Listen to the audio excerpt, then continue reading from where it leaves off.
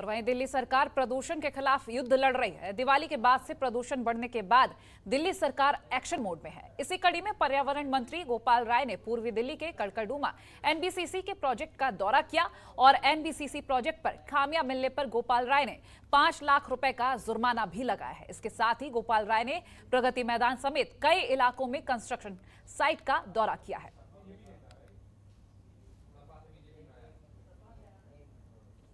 तो फ़िलहाल आपको वो तस्वीरें भी दिखा रहे हैं जब गोपाल राय प्रोजेक्ट का दौरा करने पहुँचे थे और वहाँ मौजूद लोगों से बातचीत भी की और जो प्रोजेक्ट के जिम्मेदार है, उनसे भी बातचीत की और जो खामियाँ पाई गई, उससे नाराज़।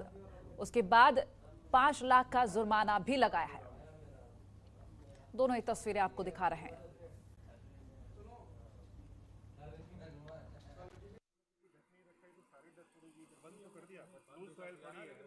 दिवाली को गुजरे कई दिन बीत चुके हैं और दिल्ली में लगातार प्रदूषण का लेवल बढ़ता जा रहा है। जी हाँ हम लोग इस वक्त मौजूद हैं दिल्ली के प्रीत विहार इलाके में, जहाँ आप देख सकते हैं किस तरीके से आसमान में एक धुंध की चादर छाई हुई है, जिसकी वजह से लोगों को आँखों में जलन और खांसा सांस लेने में परेशानी का सामना करना पड़ रहा है।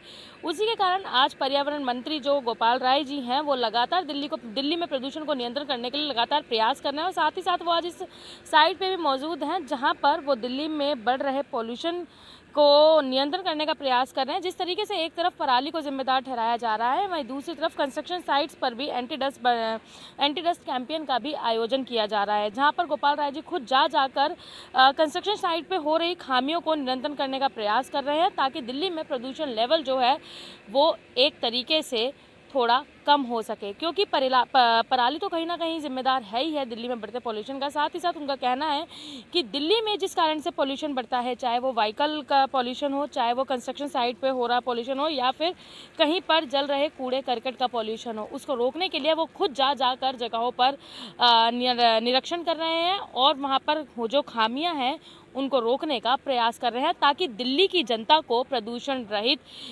देश दिया जा सके। दिल्ली की जनता को प्रदूषण रहित दिल्ली दी जा सके। दिल्ली से जनतंत्र टीवी के लिए भावना की रिपोर्ट। खबरों के निष्पक्ष विश्लेषण के लिए सब्सक्राइब करें Janatantra TV and press the bell icon never miss any update